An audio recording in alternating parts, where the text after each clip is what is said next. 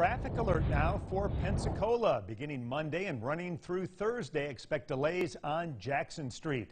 Gulf Power will begin replacing power poles on a two-mile stretch of Jackson between Q and Coil. 36 wooden poles will be replaced by stronger concrete poles.